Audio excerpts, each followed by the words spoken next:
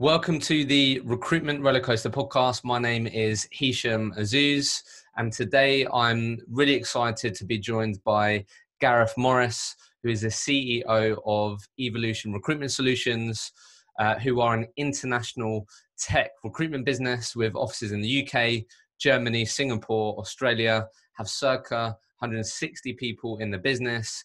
We've been going for um, 20 years. Gareth, thank you for joining me. It's nice to be here. How uh, how have you been over the last couple of weeks? What, has been going on for you? Yeah, good. I mean, um, really proud of, of the response from from everyone that works for the business. Um, everybody is, has been mobilised and, and, can work from home due to a, a, great effort from from the IT team. And you know, p- people are up for the fight. They're, they're they're working hard and they're doing their best in in difficult circumstances. Love that.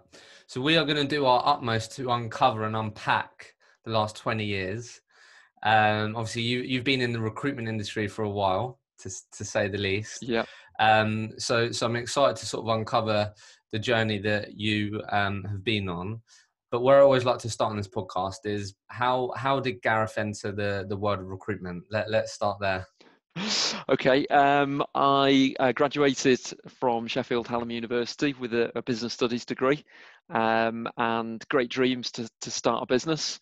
And I, I realised that um, although I've got a theoretical knowledge of business from the degree, I actually haven't got any practical experience of anything, uh, but bar working in a bar so um, all through uh, my my degree, I, you know, used to chat to, to my best friend at university, a guy called Nick Elliott, about starting a business, uh, dreaming of what we're going to do and, and how we're going to start a business when when we finished our, our degree. So it's the summer holidays after the degree. I'm I'm living back at home, and my mum says, you need to get a job. uh, and for any any any graduate that's uh, you know just left university, that's a bit of a shock, isn't it? To be honest. Yeah. So um, I think from memory, Nick had Nick had gone travelling, and um, so I looked in the back of the Manchester Evening News and I saw this advert, and it said uh, entrepreneurial people wanted, uh, highly motivated, um, great OTE, fast moving industry, IT uh, recruitment and I just thought, thought that advert sounds like me. So, so, so, what, so what year was this, Gareth? Uh, whew, now you're asking. Uh, 97, 98, okay. that sort of time. Okay. Um, so I rung them up and, um, you know, pretty naive, didn't have a CV. And they said, well, come for an interview. So I went for an interview, met four people, um, and liked the sound of, of recruitment and what it was all about and and they invited me back for a second interview uh, down in London. And they said there's just one thing we need to you to actually write a CV. So that was the first CV that I wrote. Uh, went down to uh, Computer Futures head office and, and, and got offered the job and and um, yeah that that was the start of my career in recruitment. And and just just for everyone's benefit, how long did you work there for before you started Evolution? Two years. Two years, okay. Yeah. Well, so Computer Futures part of the SThree brand, right? Yes, absolutely. Yeah. So obviously we're going to have a real focus on evolution, yeah. but j- just really quickly, always curious to sort of hear and ask around people's experience in working in in um, 4S3, just because it's been the the spawn of so many recruitment entrepreneurs and recruitment businesses. I guess. Yeah. What, what what how would you round up your experience and how would you describe the environment you was in in those two years? Oh, it was uh, really good, R- great, great fun. You know, I, I just graduated from university, and I was working with a lot of like-minded people. Um, I think that I, I, worked in the Wilmslow office, and there was a lot of people that were, you know, degree educated, uh, bright, and uh, highly motivated. Um, and and to be around that in that environment was just just really really good fun. Mm. Um, I think some of the um, you know more, more negative stories you might hear about SThree.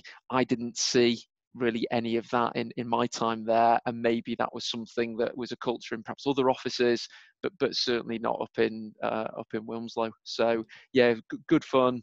Work hard play hard. Give you a great grounding in in recruitment. And you know you're having the time of your life. You're young you're free you're single and you're, you're working with other people who are similar to you. So yeah. what, what what's not to like? Living the dream in Wilmslow. Absolutely, absolutely. um, okay, so clearly always obviously already had the sort of thought when when you was at uni thinking about starting your own business. Yeah. So I guess thinking back then, what what do you think gave you the confidence to start your own recruitment business? Where did, how did that come about? Um, I just always wanted to start my own business growing up, so I can't really I- explain to you why. Um, I used to be, be, really into sport, and you know, I'd go past sport shops on the way home and think, oh, I'd like to own one of those one day. Mm. Um, and then at university, we had to do a, a placement year, and uh, I applied for a number of jobs, and I got a job um, in marketing for Avesta Steel in okay. Sheffield. I just thought that sounds really dull. Marketing steel. a, it sounds if you think recruitment's tough, that that sounds really really challenging. um, so what I did is I went to the university and said, do you know what? There's only so many placements. Um, yeah. I've got this placement through through you guys, but I want to start my own business. And someone else can have my place at, at Steel in, in Sheffield. And they, they, they kind of said, Well, no one's ever done that before. I said, well, my best friend at the time was was a locksmith, and he uh, wanted to start his own business. He had locksmithing skills. I had two years of a business studies degree, and you know, truth be known, probably knew very little about anything. Um, but we started that business in in, in that placement year. So um, I That's sold. Amazing yeah, I sold my half of the business back to him for the princely sum of five thousand pounds, and then went went back to to university uh, for my final year flush with uh, with an extra five grand in my pocket. How where so where did this entrepreneurial sort of mind like what was your parents like? Was it was you in an interesting environment growing up or yeah, where? good, good, good question no. But, um, I, I love my mum and dad dearly and they were brilliant parents uh, very supportive never really trying to tell me what to do. They only gave me one piece of advice and the one piece of advice they said is you can do anything you want in, in life just don't be a teacher. So they, uh, they, they, they were both teachers and okay. probably felt that, you know, um, although the holidays were good and everything else, um, it maybe haven't hadn't given them the lifestyle that they would have hoped. But you know, obviously, when they were growing up, a stable, steady job with a decent pension was what people wanted. Mm-hmm. So, um, yeah, they, they they they certainly weren't um, entrepreneurial. Uh, but what they did do is encourage me. So if they want, if I wanted to do something, they they'd never say, "Oh no, you can't do mm. that." They'd yeah, say, you, okay. yeah, you wasn't worried about failing or giving things a go, which is half of it, right? Not at all. Because um, I think if you think back then, like how was entrepreneurial the cool thing to do?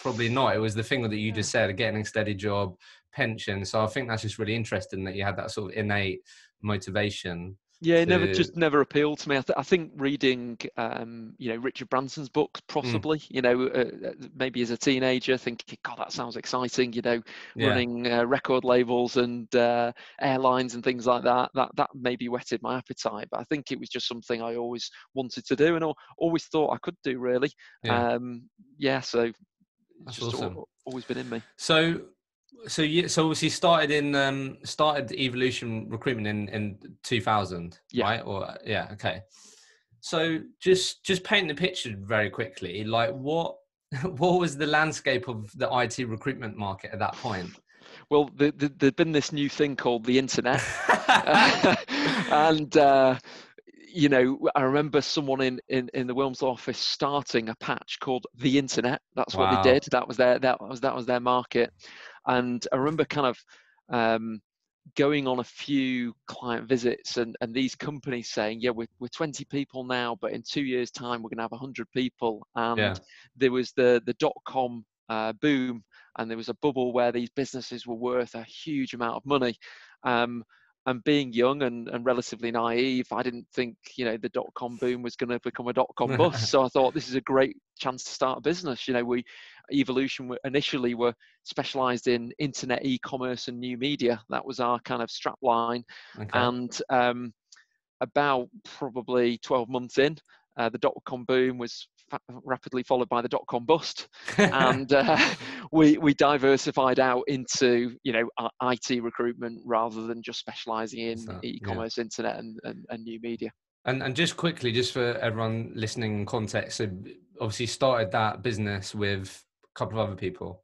Yeah, in uh, so Nick Elliott, my uh, business partner and uh, CFO, um, and a friend of my t- at the time who was uh, working in recruitment. Yeah. Um, the three of us started the business, um, and it was in the cellar of my house. Uh, we had to, we kind of got the the cellar tanked and fitted out, and uh, it was so damp down there that we actually had to kind of lock the paper away in a in a sealed container.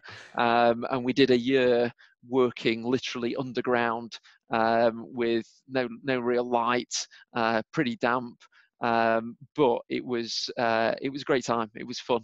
And yeah. I think, you know, when we got the very first check through the post for our, our first placement, it was a kind of great source of celebration. And I think that that that first year was about can we make this successful enough to move out and get our own office, get a proper mm. office with windows and everything and, uh, mm. and, and and sunlight. So we we managed to do that after about 12 months. Um, but in 2001 obviously september the 11th happened and anyone was working in the industry at the time it, it you know it definitely hit demand. Um, i'm not sure whether it was officially a recession but there was an awful you know there's a lot of companies that stopped recruiting and um, the the, uh, the, the third business partner at that point uh, was getting married and decided that he wanted a steady job and an income yeah. and, and move out moved out of the recruitment industry. Um, and then uh, yeah, Nick Nick and I cracked on. So so going into the sort of second year, and if we just sort of break it down, I guess into sort of early years of evolution. Mm-hmm. So I had that experience in the year one where the dot com bust um, got out the cellar. Um, obviously ended up being you and Nick. I guess sort of obviously obviously the fact that I mean you're in the real top percent of recruitment businesses in terms of size.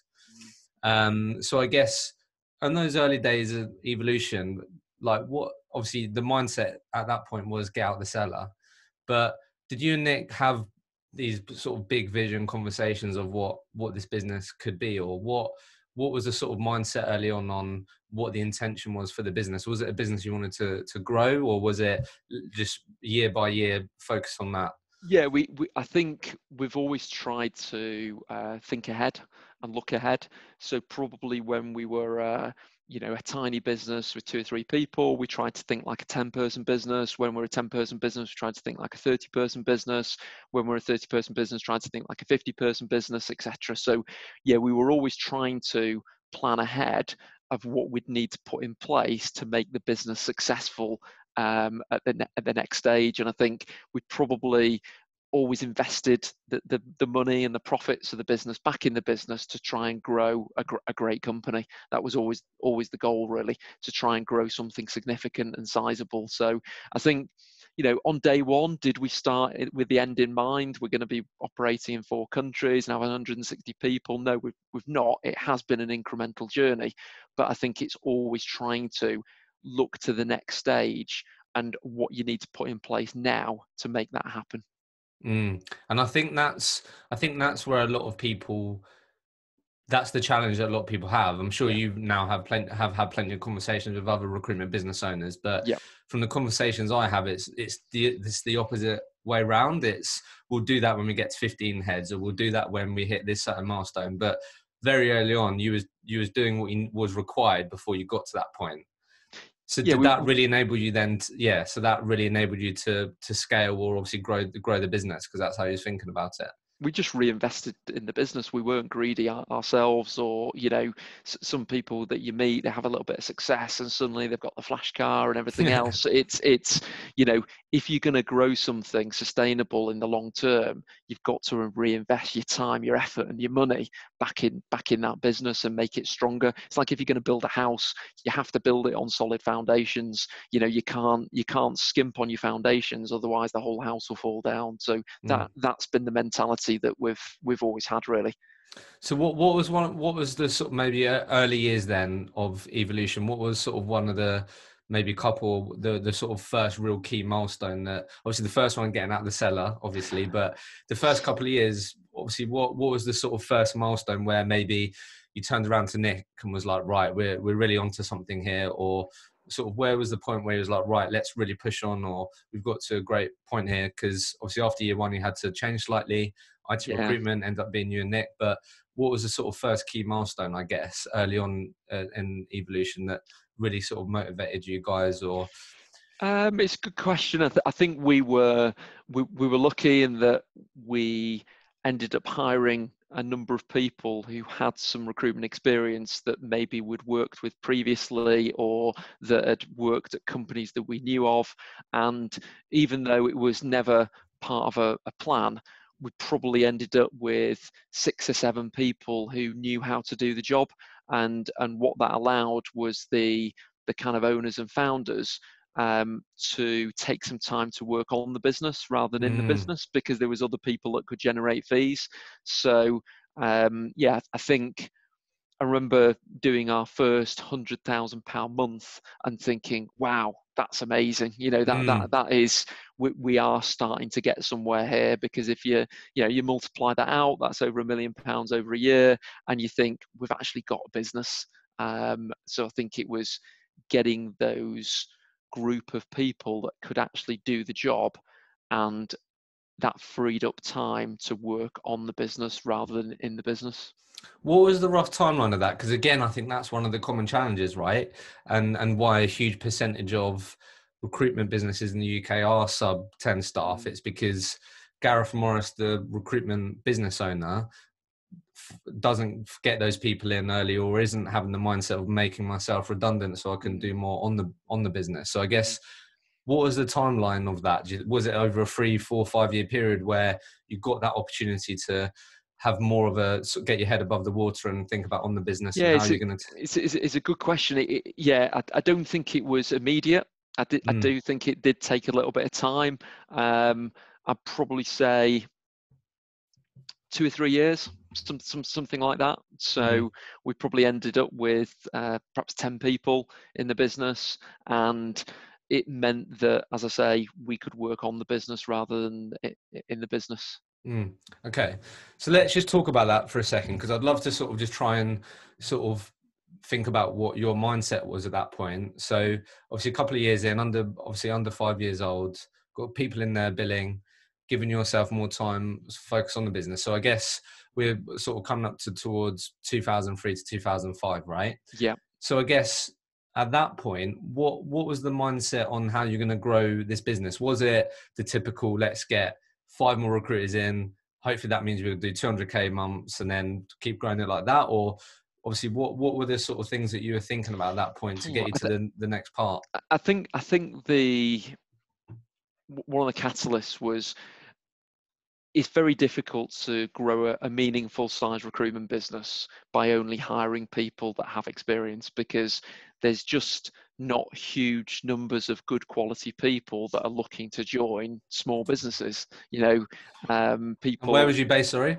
We, we were based at that stage in warrington so we'd okay. moved from in warrington as well. Yeah exa- exactly exactly. So i think um, i read a book called the e-myth and i'm reading that at the moment yeah, it's a re- really, really good book, and it's saying that most people that start businesses aren't truly entrepreneurs. Uh, for example, most plumbing businesses are started by people that enjoy plumbing, and then they don't particularly enjoy running the business. Therefore, the, the business doesn't really grow. That's kind of the premise of the it's book. The, the sort of technician, the manager, and the entrepreneur. Correct. You end Correct. up being just the technician you, and just doing the work. You wear three hats effectively. Yeah. So um, the I think one of the things that sticks with me from that book is that even if you aren't going to franchise your business, pretend you're going to franchise your business and write everything down mm. that you do that you think makes you successful or as though you were going to charge someone for that information as with a franchise and i think what we did do and right right from the the cellar i remember writing out like copious amounts of training notes on how to do recruitment and I think that if you can get a process which you can teach to other people and teach to people that no, have no prior recruitment experience, then you're on the road to scaling your business. I think it it's very difficult to scale a recruitment business if you're only hiring people with experience. You've got to be able to train and develop um, trainees and people that have never done the job before. And, and to do that, you need to break down what you're doing and what you can do successfully into an easy to follow process for, for other people. So you really, so that, that early period, you really started sort of, I guess, cultivating the evolution way Doc- documenting yeah mm. you know w- we were and when you when you say document just quickly just to be really clear are we talking about this is how you do business development. When you get a job these are the questions you ask. When you get a candidate this is what you do on the system. Like are we talking yeah. like yeah. that's yeah. Yeah. So we, we i remember yeah god you're taking me back now that but a lot of the early training uh, i wrote and it was around recruitment skills. It was around technical knowledge of your market so understanding something about it and then there was the system skills. So there was a CRM system or database, and and I think you had to try and um, transfer skills in all three areas to people to help them to be successful. And I think at the beginning of someone's career, the clearer uh, guide you can give people of how to be successful in the job, the better they're going to be. Now, obviously, once, you, once you're six months in, once you're 12 months in, people can start to put their own stamp on it and to um, innovate and, and, and to try different things. But I think when you first start in a role and someone genuinely has never done a job before, you know, just asking them to get on and give it a go is is is just going to be a recipe for disaster, really. And again, I think that's, I think the, I think it's the process part. Again, you're doing things that um, before you technically maybe needed them because you could have said to those 10 people get on the phone and i'll help you as you go right? But yeah. you were documenting it. So so i love that. So sort of gareth early on on the business was right i really need to document. If we get two new people that don't have recruitment experience we need to they need to know exactly how to do things when they come yeah. through that that door right? Okay cool. So i guess so then um just quickly then how, what about during this period, obviously coming up to 2005, around the sort of first five year mark, obviously getting towards the sort of recession in 08, mm. I hmm. guess, like, what was IT recruitment back then? Because was LinkedIn when when was when did LinkedIn happen? Because that's obviously a bit of a milestone. It's a well. good question. It's a really good question. Um, I think that I think LinkedIn was starting to become popular before the the credit crunch and, and before the downturn in um, 2007 2008 uh, but probably really became big af- afterwards after that yeah. um, and it was mainly job board orientated was before it? that really yeah Oh, yeah. 2002. Sorry, I just I just googled it. So 2002 yeah. they started. Okay. Yeah, but I, so, I don't think it was massive in, in the in the UK. Because mm. what looking back then, would you like? Because obviously, would you say it was less crowded? Like it was, it, it was quite quite easier. Um, like like could you, as you said, it was more job board orientated. Like, yeah, th- did you have to be obviously not as niche as you probably have to be now? Yeah, I just I just go go go backwards for you for you really. Um, when when I was at Computer Futures, the way you attracted candidates was was to advertise in the back of physical magazines. you, know, you, used to have to write your adverts ten days before it went to press, by which time the jobs the jobs were filled. Um, and you know, Computer Futures, to their credit, uh, dominated the advertising. They bought an awful lot of advertising in Computer Weekly and computing magazines. So we had a lot of candidates. So, you know, in terms of going to market to the client side, um, you had a lot of product. You know, you had a lot of people for them. So they they, they, they kind of they kind of have to had to work with you. Um, and then what happened was when the internet came along and you got job boards like JobServe and, and, and JobSite and, and, and those types of uh, companies, it democratized um, recruitment, and it meant that you could start up a business from your cellar or from your bedroom. And if you advertised on these job boards or you logged onto their CV databases, you could actually get access to some of the people that the Computer Futures or the Hays or whoever the, the, the dominant players were at the time had access to. So mm. I think LinkedIn is just a natural continuation of that. Um, so the internet definitely allowed us to start our business up because you know advertising in trade press was thousands and thousands of pounds. Advertising on job boards was hundreds of pounds. Um, so it helped us but obviously it helped lots of other people as well. So it meant, you know, if you've got an awful lot of competitors, then the only way to combat that really is to specialize in in a particular area and be the best in the world at something. Mm. Um, and I think you know that's really important for for any recruiter starting out is try to be a specialist in a particular market rather than try and be a jack of all trades. Um, you know, and accept that you're not going to work with every client and you're not going to be able to help every candidate, but be absolutely brilliant in the area that you choose to focus and specialize in. And your specialism was IT, rec- IT recruitment. Yeah, yeah, but but obviously within that, we we have recruiters that specialise in in particular vertical markets, and you know, the the more specialist that you can go, the better. Mm. Um, but if if people were starting up businesses now, you know, IT is way too general to to, to start a business in. You'd have to take a particular niche in a particular area and say, okay, we're going to try and be the best in the world at, at this particular area, um, because I think there's just too much competition out there now to to be a generalist. Okay, and j- just quickly, just for context, obviously, I want to sort of talk a bit about what your business looked like going into the sort of financial crash and and your experience there would um at that what was you predominantly perm business? Was it contract yeah pre- predominantly permanent. Um okay. you know probably 90% of our net fees were probably through permanent and, t- and 10% okay. uh, on contract at the time. So going into the financial crash then what did your business look like before that hit? I would say probably 30 35 people something like mm. that. Um and you know, it was a it's obviously a long time ago now, and pale, pales into insignificance really compared to the uh, the coronavirus. But I think we were pretty lean, so we didn't have um, a big uh, IT department. We didn't have a big marketing department. We didn't have anyone in HR. We had, you know, the owners of the business and recruiters and some team leaders. So, um, from memory, we managed to ride out the storm okay and, and by that i mean we didn't lose money. So we were still profitable albeit that may have been a fairly small profit.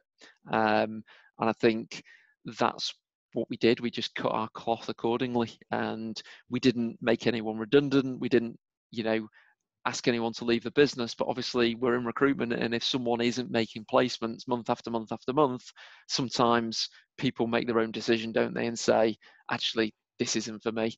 So probably coming out of that uh, credit crunch and financial crisis, we were left with our best people, but just less people. And mm. and very much like a garden, I suppose if you prune your garden back, it, it can grow uh, better and and and and and, uh, you know um, be more productive yeah, on the on the other side. So obviously going through that, what what do you think the learnings through that period? What do you think applies to today? Obviously, it's diff- completely different, but like sort of looking back and just talking a bit about sort of that period and, and that experience, I guess out of that, what happened there, what what do you think sort of applies today from what you learned during that period? Um, don't panic. You know, pe- pe- people don't want that, that the leader to be uh, panicking or or overly worried.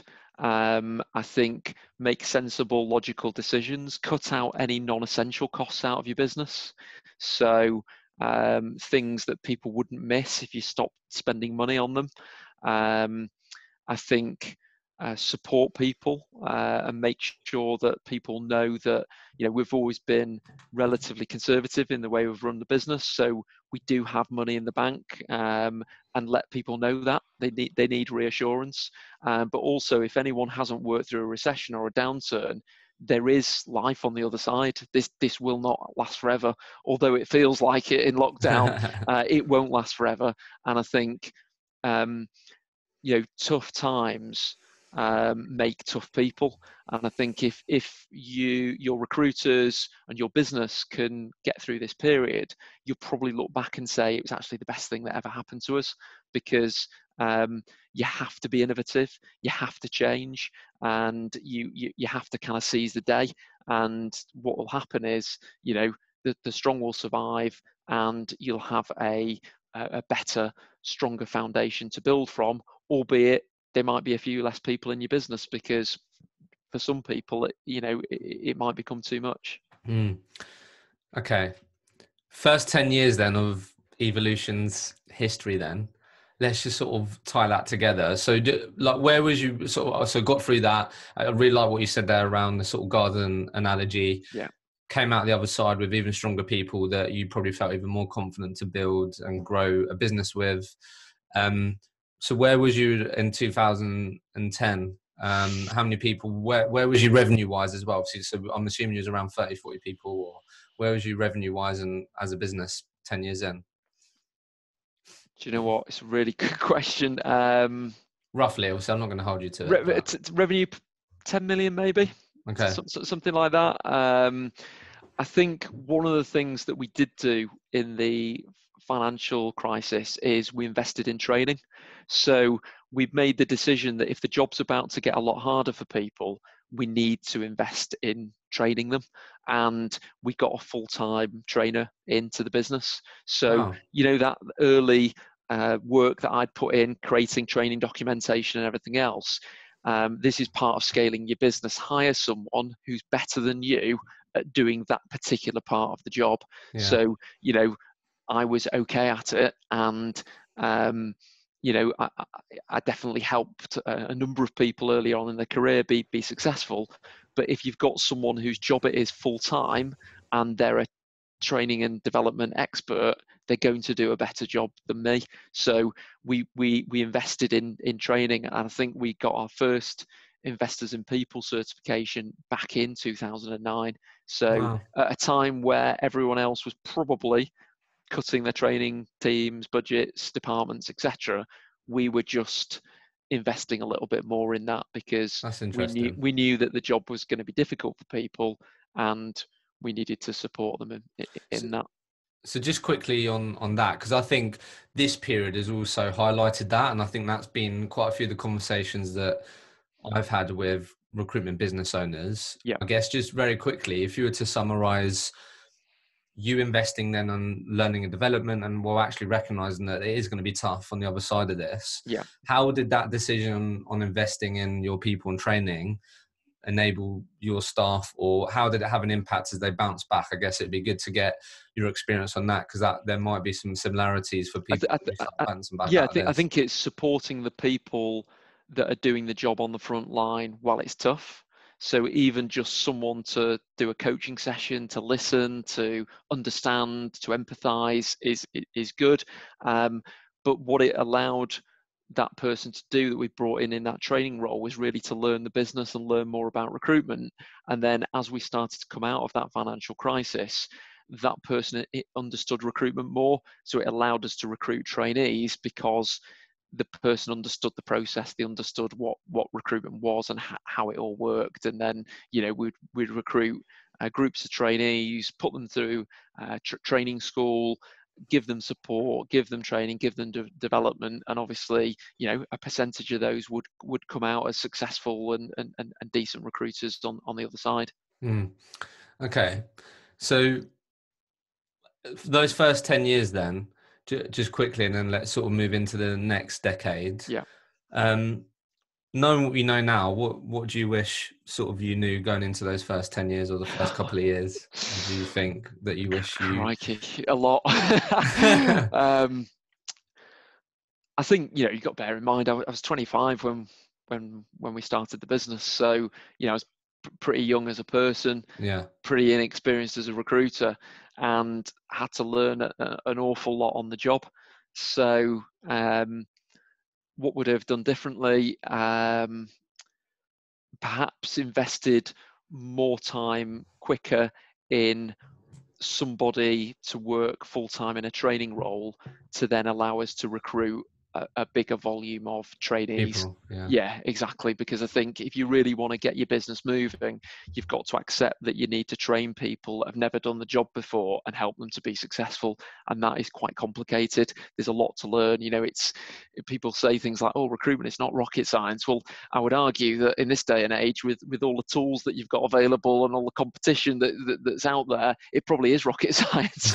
so you know, you, you, don't underestimate what you find easy yourself as a recruiter is actually really challenging to train and develop other people in. Uh, and don't underestimate that challenge. And perhaps if we'd started that process a little bit earlier, then we'd have been a bit further on after after ten years. Mm. Do you think I don't know? Like, I know it's not because I'm thinking again.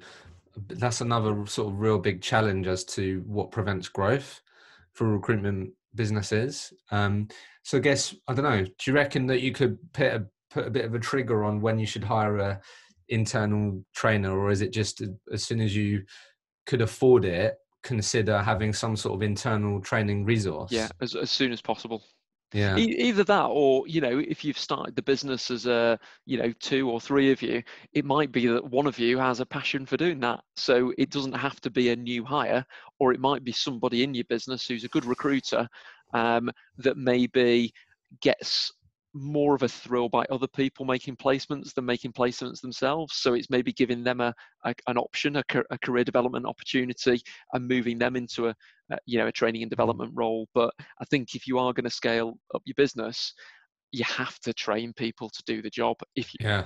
if you want them to do it well and, and do it successfully, that that that would be my experience. Okay, so going into the next decade, then, because I'm sure yeah. I'm, I'm I'm assuming at that point you was like, wow, first ten years in business. I mean, firstly, that's an amazing length of time, right?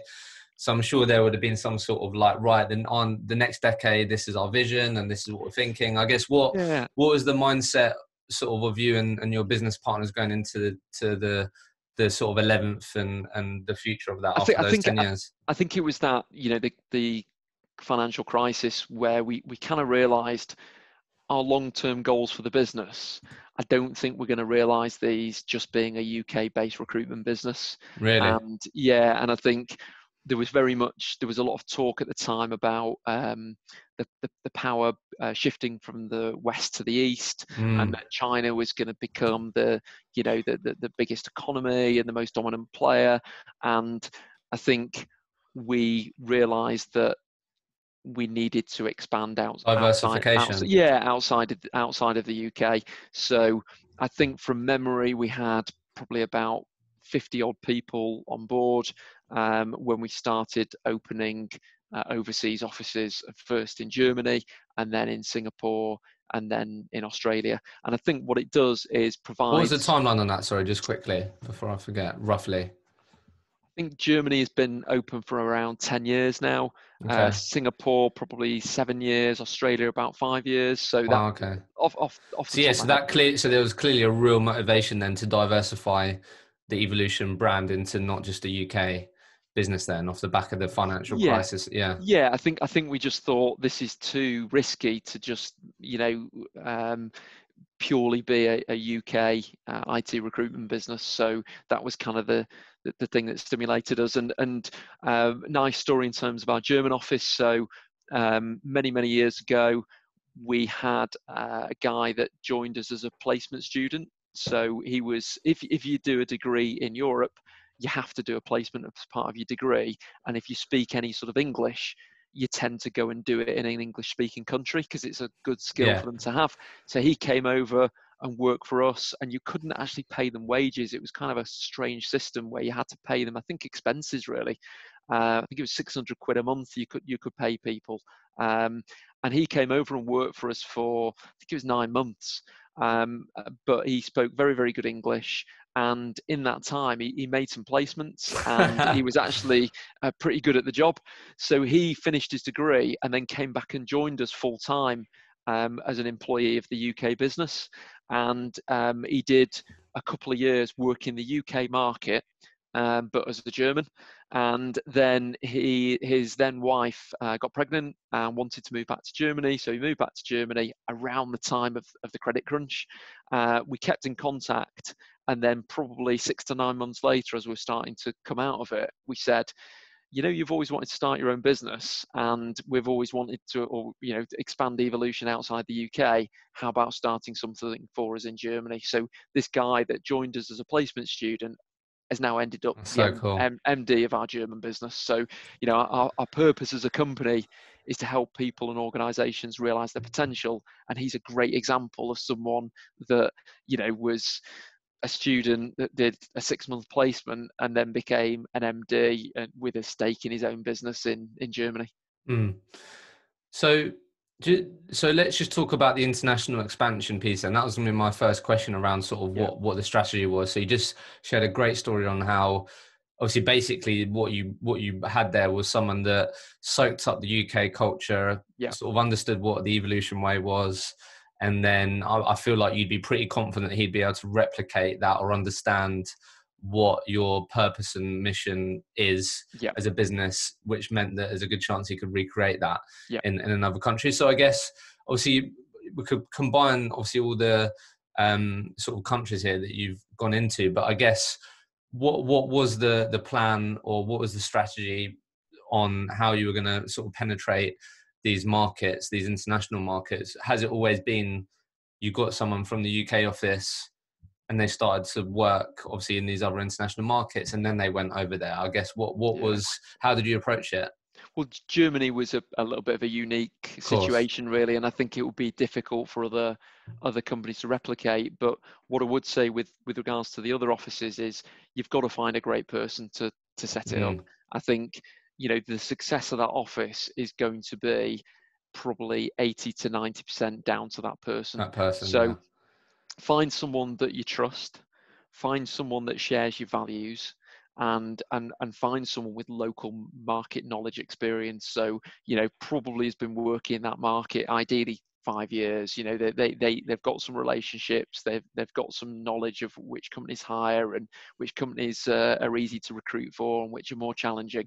And then what we did was took that local person and then um, a business partner at the time would would then go out to those offices and spend you know up to a couple of years out there to make sure the evolution DNA was was was over in that office as well. Yeah. yeah, absolutely. So I, would say someone with local market knowledge is a must, and somebody with your DNA teamed up would be the best. Because I think that that's that's the challenge, right? Because if I'm if I'm speaking to a recruit in Singapore like obviously you said trust right? Obviously yeah. if they haven't worked for evolution before and it's a new hire you're backing them to do it. Do you get what i mean? Obviously that that yeah. it can be quite hard to get that right or you're worried about getting that right because obviously as you said 89% of the success of that would be down to that person.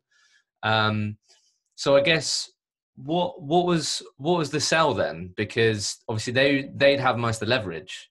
Like if i'm a local person know the market and sort of i'm speaking to you as a uk recruitment business and saying, look, the, what, what was the opportunity for me and sort of what did you make sure you saw in that person for you to go, yeah, this is the person we want to hang up, head up our Singapore or Australian office? I think that we um, we, we made sure that there were share options available for those people in, in those offices based on, on hitting targets because obviously they're integral to that office and you want them to be tied into the long term success. So that's one way to you know to, to make sure that people are loyal and and and, and are there for the long term. Um, and how um, did you structure that? Just really simply just because i think sometimes it there can be just a lot of um, smoke and mirrors with yeah you can get shares equity or whatever but how did you like if i'm thinking about opening an american office and i'm speaking to someone at the moment or whatever what was it like how did you structure it to favor them but also favor you yeah, just just document the agreement. You know, just make sure put put, put it into a contract to say if if you do X, Y, and Z, you get this percentage of of that particular business. Okay. Um, and you know, the thing with share options is they are executable upon an event. You know, upon mm. selling the business or floating the business. So you only uh, get to benefit if you're there at the end and that's what you want Exactly, you want yeah. that person tied in to be part of the journey not to do two years and then Mm. and then disappear But if they hit milestones and they get some of the profit share, which in the short term Yeah, that's the motivation, but long term it's that's that, that's your reward if you're running an office you need to put some sort of profit share scheme in place and that's only right and proper um, but for the longer term it's okay you know if we, if we sell this business then you're, you're going to get a percentage of the value of uh, that your office has created Mm. So, what are the common misconceptions recruitment business owners have on expanding international internationally? Do you think? um, you'd have to ask them what, what are the common misconceptions i, I don't know um, i think Like, what was your biggest challenge? probably penetrating a market when you're when you're on a standing start you know Mm. because let's not kid ourselves most areas of the world have people doing recruitment already so you've got to go over there and offer something different or something better um, and you know some, sometimes that takes time to, to get known doesn't it if you Mm. if you're just starting up a business it doesn't matter if you you've got some form of reputation in the UK or in Germany no one knows you in Sydney or in Australia so Yeah. you've got to start start that from scratch. Uh, that's the biggest challenge isn't it? When you turn up you have no reputation. Um, and and that's why I think the person who's starting the office probably needs to have that local market knowledge and you know be in a position where they've maybe got some relationships and, and some reputation themselves that they can bring to the party. Mm. And then, and then just just a quick one. Um, obviously, I know that you said obviously you had someone that went over there typically, but Yeah. I guess what, how did you get better at instilling the evolution DNA? What was sort of the core? Because obviously, Singapore recruitment office culture is going to be different to your office in Yeah. Warrington, right? And you've got to respect that and understand that. So I guess how have you gone about? Yeah, how have you gone about ensuring that that DNA and purposes transfers across all different brands? And do you make sure that I don't know that the UK team know that actually they do have offices in Australia, and you try and sort of cultivate um, these people to share knowledge and I don't know what. How have you gone about sort of cultivating the sort of group? it's it's culture. it, it's um i think it comes from the global board so um, each of the offices has the, the person that runs that office is on the global board. So when we've done work um, defining and you know honing down on our, our purpose and our brand promise and our values those people have been integral in that process. So they then believe in what that those that purpose is what the brand promise is and what values are because they co-created it. And then it's their job to go and instill that into their their offices. Um, and i think you know if they have helped to create Yeah, get them involved in the that, process. that, that vision then they're more likely to, to go and um, sort of make sure that their office actually lives lives lives and breeds it um, How- I, no, go on. Sorry. I'd, I'd say a rough rule of thumb for us is everybody has the same purpose, the same brand promise, and the same values. Um, and 80% of the culture of the offices is probably the same, but then 20% has to be kind of unique to that that, To that country. So yeah, a good good example would be in Singapore. Team-based events are more around food than than they are around alcohol because cul- culturally that's what what matters to them um, our german business um, kind of changed the, the the dress code and dressed down a lot earlier than the other offices because that's what mattered to them but it's Mm, they still shared the values of the business they still shared the brand promise and the purpose but what you do is some of the subtleties are different from from office to office mm. So what I was going to ask you was, um, like for you, in your opinion, scaling this recruitment business as you are expanding internationally, like how how important were your company values and purpose when actually growing your business? Do you think how important are they? Because obviously you hear about hear about them all the time. You see people put them on their website. Obviously, you, Mm. obviously being your office, you have them over your walls. And I guess like how how important are they when growing your recruitment business? I think they're really important because I think it gives people an idea of the personality of the business and what's important to that business, and they make a, a choice: do I want to be part of that or do I not? So you you end up with um, a group of like-minded people, albeit who you know you still want innovation, don't you? You still want people that are capable of doing things that are a little bit different or, or trying things or experimenting. But um, you know, our, our brand promise, for example, is to provide a great recruitment experience. So whether it's a, a candidate that we're placing, a contractor, or a client, we want them to come away from that interaction uh, promoting our service. We want them to be advocates of our business. And if someone doesn't really share that, then they're probably not right to work in our business because um, if they just want to do a deal and you know they don't care if they leave a bad taste in people's mouths, then that isn't sustainable long term. And you know that that's really important to us to make sure that people share that that vision really of providing a great recruitment experience, whoever they're talking to. So, so obviously the the values part then also helps you say no to people or get more of the right people, basically, as, as yeah. you're hiring and growing. Yeah. Um, We're really it's really really simple when we when we um, were assessed for Investors in People back in 2009, the lady that did the assessment said, you know what, um, you, really impressive company. Um, people love working for the business. They speak passionately about it and they say the same sorts of things about your business. But you know what?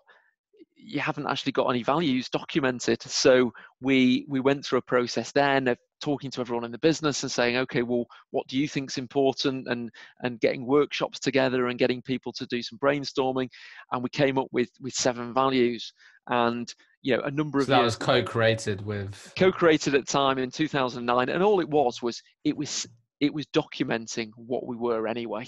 They were always yeah. there.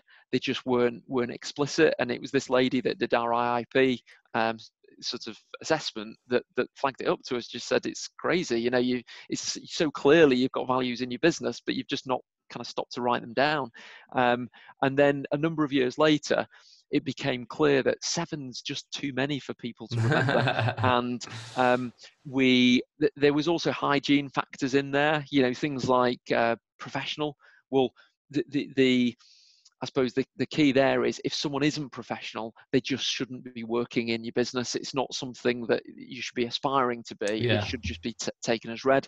So we took the seven values and we did another workshopping session many years later with everybody in the different offices. And we said, what which of these values is most important to you? And we boiled it down to three. And that was to be ambitious, innovative, and collaborative.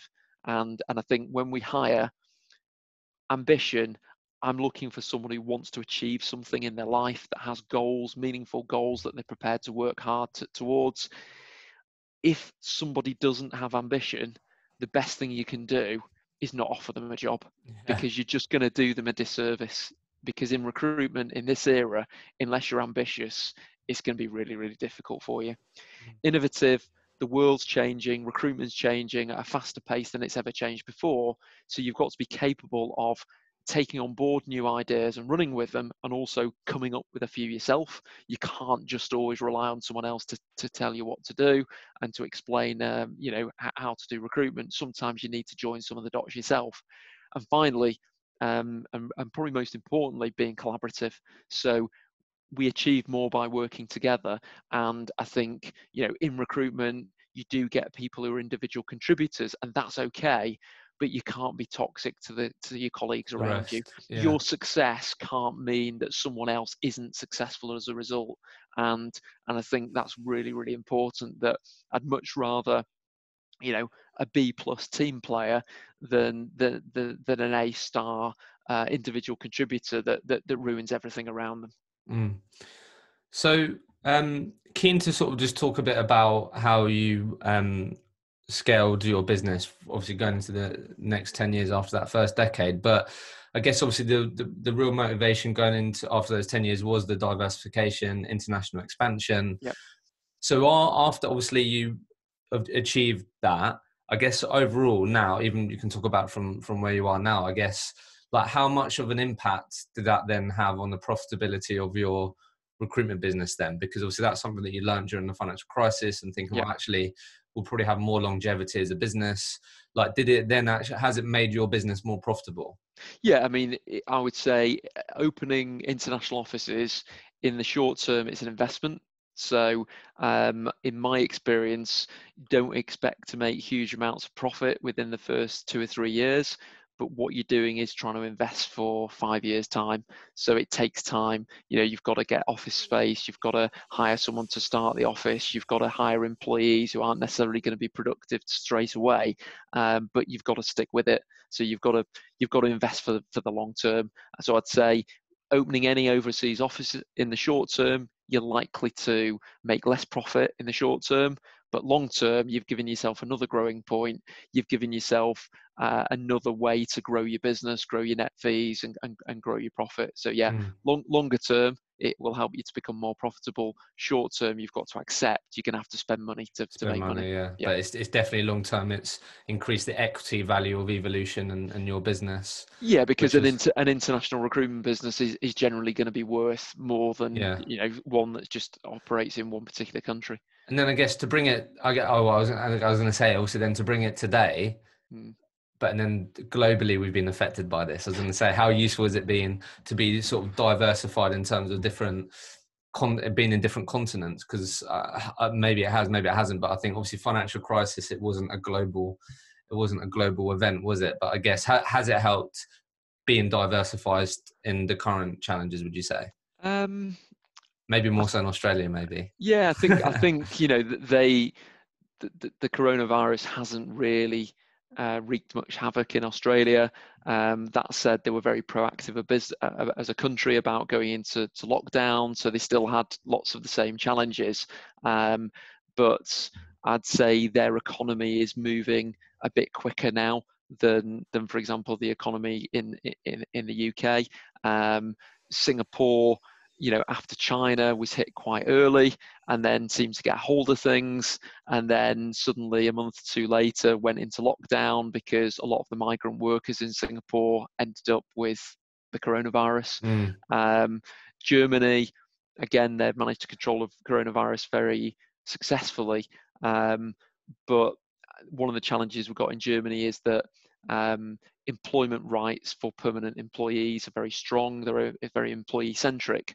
And even if people are on their version of the furlough scheme in Germany, they're only paid 60 or 67% of their salary based on whether they've got a family or not. But Oh, wow. German, Ger- Germans are still keen to stay with their existing employer rather than take the risk of so moving moving jobs. yeah Yeah, because the way employment w- law works in Germany is that you have very few employment rights in the first six months, Ah, and then you are very much protected thereafter. So, yeah, yeah. um, you know, our permanent IT candidates are still nervous about moving jobs, even if they are not actually actively working for their businesses, because they're still getting some income and they're kind of, um, yeah, um, risk averse, if you like, about Mm. putting themselves into that position when they're in a probationary period with a new business. Okay, interesting. Um, so I guess thinking of sort of, I mean, a lot of people will sort of have the mindset that they want to grow their recruitment business. Mm. Obviously, 100, circa 160 people. It's, it's a lot of people, right? Obviously, you've got different offices. I guess just just thinking about that for a sec. What do you think? Obviously, you invested a lot into training. Um, clearly, from the very beginning, documented your process. But I guess what would you say were some of the key factors that enabled you to scale your recruitment business to the the amount of people you have was it the the strategy of getting pe- bulk of people through your academy and, and Yeah. growing it that way or what would you say were some of the key sort of aspects to enabling you to scale would you say Yeah, I think if you if you think about it in a logical um, order, you've got to have good people doing internal recruitment because arguably it's the most important job in your business. If you hire really good people with great potential, then a decent percentage of them will work out to be successful recruiters. yeah So get your IR right in the first instance, and then once you've got the right when people, sorry when did you did you when did you did, when did you start building that team out of interest over 10 years ago you okay, know cool. um, yeah i think we just found that the rec to rec companies we work with um, were just very sporadic really in in in the people that they could or would send us mm-hmm. um, mm. so we had no choice we we had to build an internal team yeah. um, because there was no way we could we could grow via um, rec to rec candidates um, and the people that have worked internal in internal recruitment have done a great job. They've recruited people with the right kind of raw attributes, raw skills, and then obviously we've slotted them into this um, training program and tra- training process to give them the best chance of being successful. No one can guarantee anything, but what you're trying to do is give people the best possible chance. Mm. So investing in obviously your internal recruitment function, yeah, and then going down the training program academy route so that what did that mean that you was able to i don't know hire 10 15 8 people at once rather than yeah that that was that was um it's become more difficult over the last few years because uh, the country's been virtually at full employment in the UK. So getting a quantity of people to start on one day has been very, very difficult. But yeah, historically, we would we would recruit a, you know a group of people, and I think that works really well in many, many ways. A, it gives people uh, peers to compete against when they're first starting the job, yeah. so you can make it a bit of fun. Um, secondly, they've got friends in the business straight away. You know, if you think about it, walking into a company where there's maybe 100 people in an office and you're the newbie, that's a little bit um, overwhelming for some people. Whereas if you're starting on the same day as three or four other people, you've immediately got friends to go you know go for lunch with chat with talk through the training with um, you know support you in terms of when when when you're on the phones making calls and, and trying to make your way in recruitment if you're you, the, your only point of reference is your manager who's been doing it for 10 years that's that's quite difficult isn't it but if mm. you are in it with other people like you um, i think that helps gives people peer peer support so, so we've so we've spoken a lot about getting new people into the business.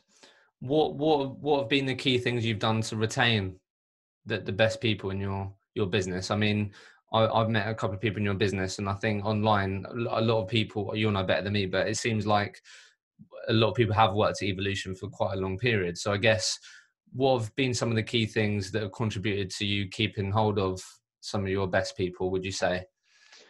Um, I think um, there's a few things really.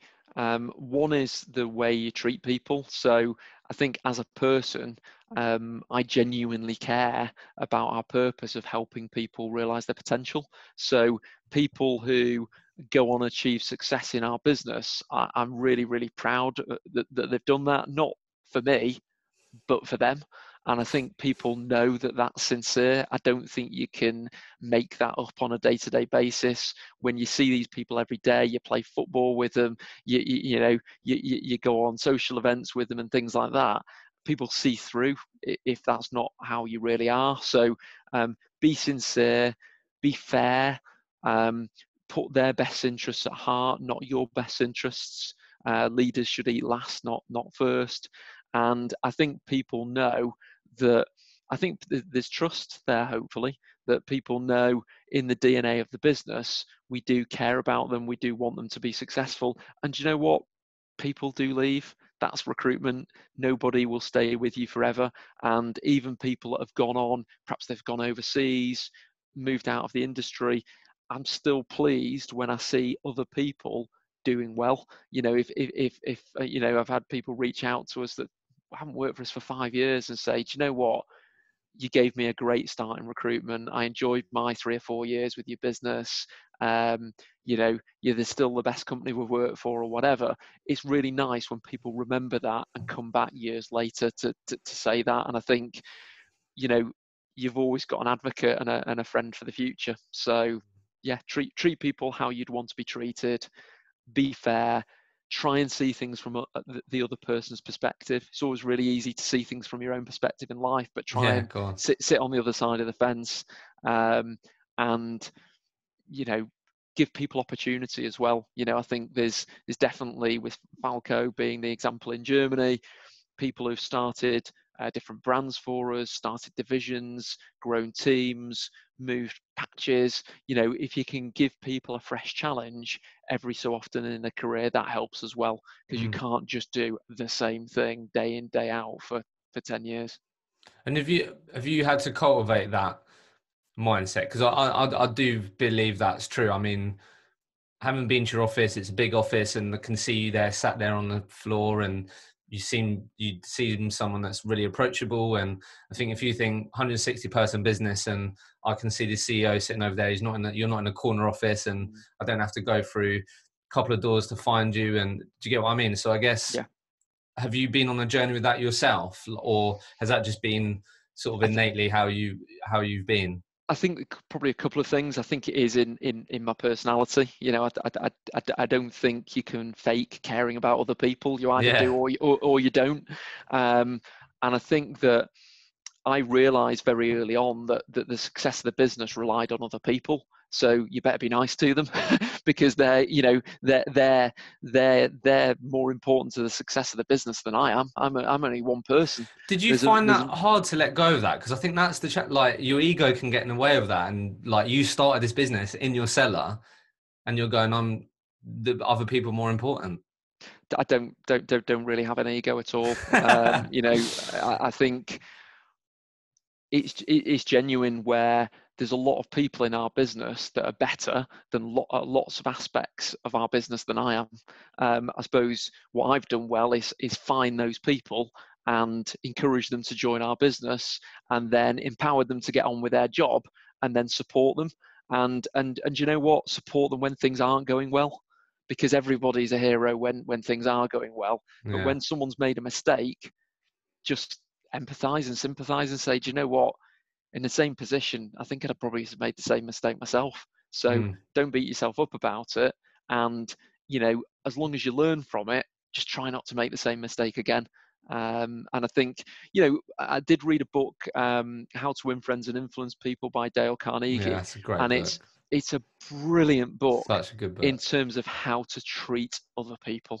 And yeah. that probably it goes such a long way yeah it, it, it, it probably crystallized what i already felt was the right thing right. to do yeah but but but gave me confidence that that actually yeah this this is the way i want to be mm. this is this is how i want to be remembered and you know i want people at work for the business to think uh, great business and and great person not not because i'm some you know heroic leader just because they feel as though I had their back and I supported them and helped them, especially when it's when it when times are difficult. No, no I absolutely love that, Gareth. I think that's and and they're the types of things that you don't typically associate with recruitment or a recruiter or so I, I just love that. I think that's great. I think doing the right thing really goes a long way and like it sounds basic and simple, but mm. you can build a great profitable big business by having that type of mindset, and, and I think that's that's awesome.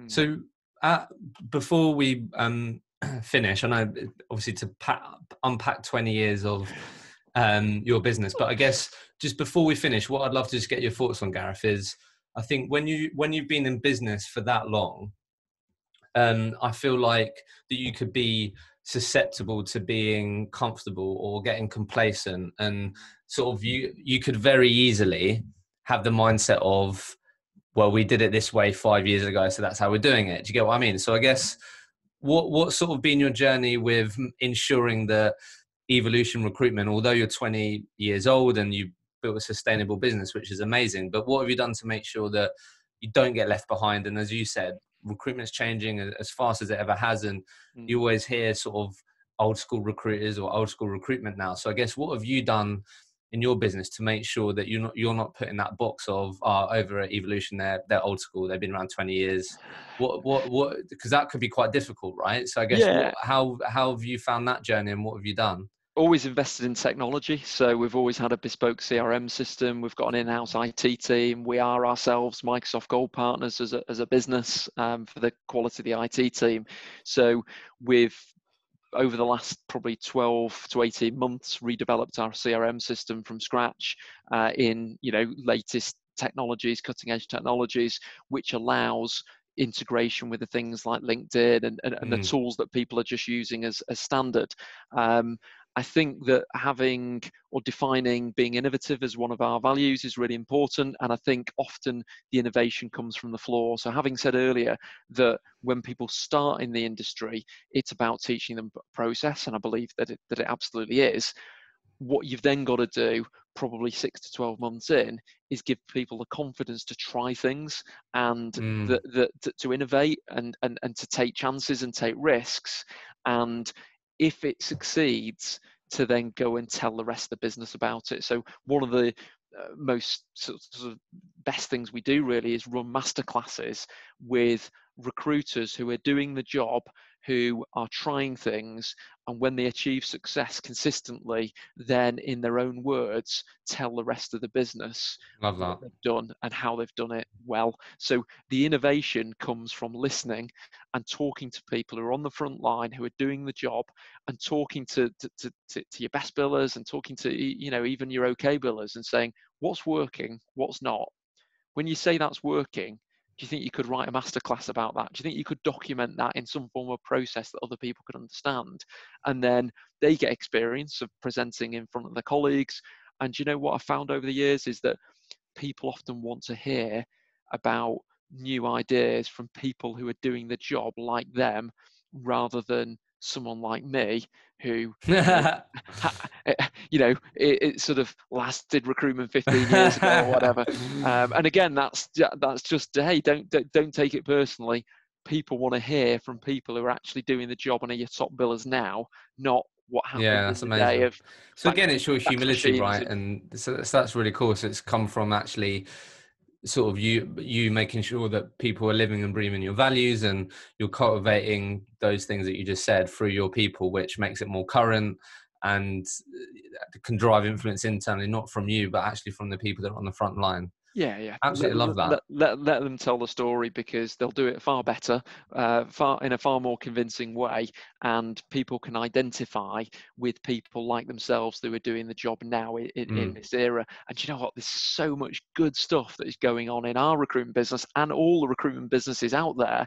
But just take the time to listen to the people and what they're doing, and then encourage them to, mm. to, to document it you know back to that process thing oh you're doing this really good thing right you can't just have a quick chat with someone else about it you just need to write it down um, yeah. and and you know I, th- I remember hearing a phrase you haven't got a strategy until it's written down well if someone's doing something great but they can't really document it it's not going to help you change your business yeah. and move it forward. You get get get it in a presentation, share it with people, and then hopefully other people can learn too. That's amazing. Um, so before, so I guess just, just quickly before I just ask you a couple of last questions. So what what does what does a CEO of your business do now then? So talking a lot about other people, like what? Because because like yeah, what have you what have you ended up really focusing your time on and resource on? Like as a CEO of a sort of hundred person recruitment business, what what do you end? What does a typical day look like for you then? Yeah, uh, busy. uh, I think um, I'm someone who is quite hands-on by by nature. Yeah. So um, a number of the, um, the, the, the different departments still report into me. Okay. Um, I've got two very good managing directors in the UK business who run the sales teams, um, and then got very good people running our overseas teams. But you know, in terms of our, our, our, development and data team, our internal recruitment team, HR team, there's still a number of functions that do re- that, report into me. Um, so I make sure, I suppose, on a day-to-day basis that what we're setting as our strategy as a business is what we're actually get doing on a on a daily basis because you can have the best strategy in the world if it's not implemented correctly yeah. it's it's still going to fail um, and it's you know constantly reminding people of our purpose um, which is to to help people and organizations to realize their potential. So if you're a manager in our business your job is to help your team realize their potential. Yeah. if you're a recruiter your job's to help your candidates and clients to realize their potential. Um, make sure that um, our, our brand promise is upheld. We you know we, we do a lot of um, net promoter score uh, surveys. So, you know, we've got a net promoter score of plus 83 at the moment, which is higher than Apple, Amazon, and Netflix. And that, that, means that the majority of people that interact with our business uh, promote you know promoters of our business um, and it's also making sure that you know people are, are living our values and and and you know, praising and rewarding people that are, are doing the right things you know mm. um, be it ambition on the sales side and people you know producing great figures or people who are running masterclasses and being collaborative or people that are coming up with new ideas that they can then roll out to the to, to the rest of the business so i suppose it's you know helping and supporting all the other people that are quite frankly more important than me in the business do their job effectively while making sure that there's cohesion and coherence between you know what we're trying to achieve involved, the yeah. strategy of the business so um final sort of question then and, and then i'll ask you the last question um obviously i'd be stupid to not ask sort of what your opinion and perspective is on sort of just putting COVID nineteen aside a second, just sort of the future of the recruitment industry. Obviously, you've mm. you've been in recruitment for a real while, and mm. obviously back to your point of recruitment is rapidly changing, faster than it ever has before. I guess where where does your sort of mind and thoughts go when you think the future of the our industry? Would you say what what comes up for you when you think about the future of recruitment? Um, I think specialists rather than generalist. And I think if you're an individual recruiter or you're running a recruitment business, you've got to to think about what can you be the best in the world at. And and I think the people that I've seen be most successful as recruiters have a genuine interest and passion about the sector that they're recruiting in. Mm. So they're attending meetups, they're reading articles, they're watching YouTube videos, and they're trying to add value, genuinely trying to add value to, to, to their candidates and clients. So I think unless you're doing that, I think it's going to be very challenging uh, go, going forward. Um, but that said, I still passionately believe that recruitment done well is a is, is a brilliant job in in a brilliant industry. So you know how many industries are there where you can help somebody realize their potential in their career by finding them the, the next job in uh, you know in, in, in their career ladder um, helping companies to grow? Because ultimately a business is only as good as the people that work there. And if you're providing a business with great people you're, you're helping to grow that business. You're, you're making a real difference.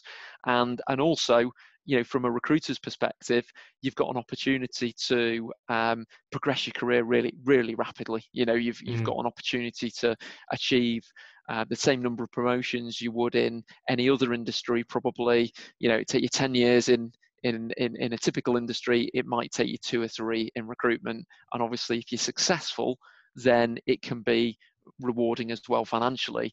But I think that's the byproduct of doing a great job. I think if, if it's only about making money, then sooner or later you will get found out. I think you've got to have a sincere, um, you know, passion for helping the, the candidates and the, and the clients to be successful, and then business starts to come to you. You know, people refer you and recommend you, promote your service, and the job starts to become easier. And again, it sounds basic, but you'd be surprised how many people don't have that intention mm. and don't do the right thing by their clients and candidates, and yeah, it will go a long way. yeah. Um, so I guess j- just just quickly then, um, sort of if I'm a sort of aspiring recruitment entrepreneur or I'm a recruitment business owner right now that's looking at sort of you and your business and thinking, wow, I'd love to sort of get to the point where they are or whatever. I guess what what would you say if I have a recruitment business right now and I, I want to scale my business um, to sort of the heights of of you guys? What what should I be thinking about? What would you be saying to me if I wanted to be sort of where you are in the next five to ten or so years? I think it's uh, important to learn from the past, but not actually try and replicate it because the world's changing. So what Love worked that. in the past isn't necessarily going to work in the future. Um, I'd, I'd, I'd say you know inch wide and mile deep. So try and pick something that um, has good long-term prospects as a market. Um, and try and dominate a niche rather than go general and just you know sort of not even touch touch touch the sides. So try and be really famous for doing something rather than try and doing everything for for, for everybody because i think that's going to be really really difficult going going forward. Um, and in terms of you know anybody that's uh, sort of join, joining the industry as a recruiter is the one thing you can control is how hard you work. So people have more sales experience more sales skills more empathy more persuasion skills than others. You can work on that but what everybody can decide is how hard they work on a day-to-day basis. And you know if you want to be successful in this industry i think you've got to be take a genuine interest in the market that you do. You've got to be wanted to be seen as an expert and to, to be able to add value but you're going to need to work hard. So if, if, if you read any book of any successful business person uh, any successful politician or sports person you can see virtually on every page how hard they've had to work, work to ethic. get to, to get to where they are. And um, you know uh, this is my my my rant. I've got you know children i've got um, three girls um, youngest is nine eldest is uh, 16 and my worry is that social media gives people the edited highlights of everyone else's life that yeah. looks brilliant um, sometimes isn't actually true. And the bit that is not promoted is how hard someone's had to work to get the outcome that they're then busy showing everybody on, on social media. And I really do worry for a generation of people that they don't understand the inputs that you have to put in to get the nice shiny things at the end yeah as uh, uh, uh you know as, as, as the output um, and I, I just hope that that doesn't uh, give a whole generation of people unrealistic expectations to say, of, well, actually, what's required? What's required to be successful? Because mm. just just read books of of people who are successful and they're not working three or four hours a day. Mm.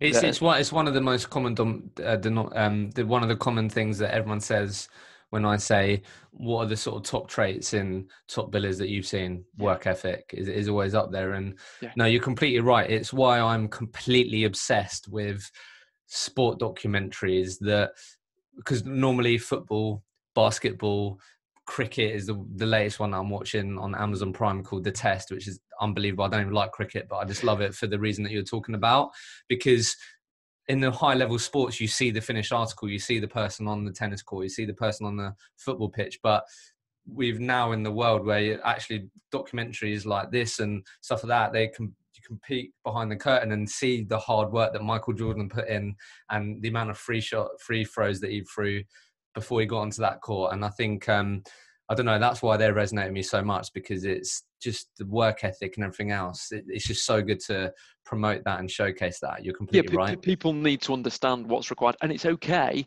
to think actually. I'm not sure that I want to work in recruitment because yeah. I'm not sure I want to put that level of effort in.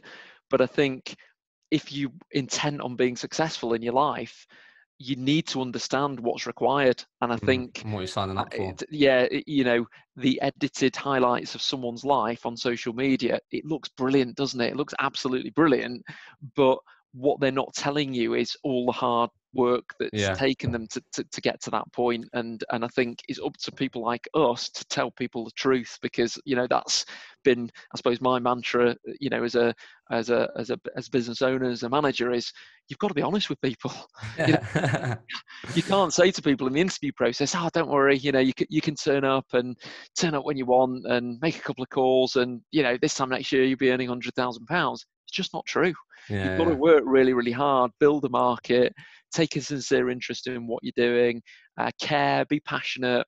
And do you know what? If you do all those things for a sustained period of time, you will have a really, really good career and, and, and you'll make a really, really good living. Mm. But that's the byproduct. It's mm. not just something that gets kind of gifted to you. No, I love that. Look, final question. Um, what I always ask, what what are you excited about, Gareth? What what is the future of evolution? Like obviously post COVID, what what are you uh, what are you excited about?